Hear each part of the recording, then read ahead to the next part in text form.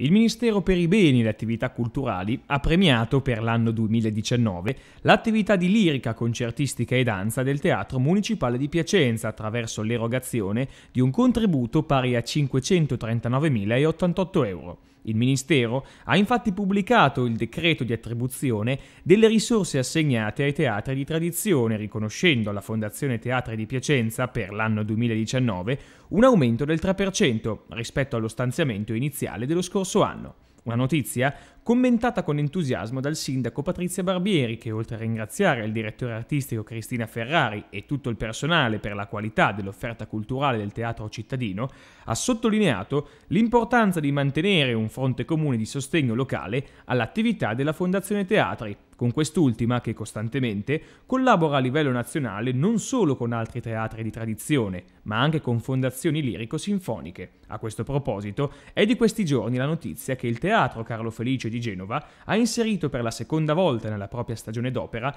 un allestimento prodotto dal Municipale di Piacenza. Dopo Luisa Miller, infatti, è ora la volta di un ballo in maschera, anch'esso prodotto nell'ambito del progetto Opera Laboratorio, con la regia di Leonucci. Prosegue inoltre l'accordo stipulato con il Teatro dell'Opera di Marsiglia che dopo Simon Boccanegra riprenderà l'allestimento della Bohème, che inaugurerà a dicembre la stagione operistica del Municipale.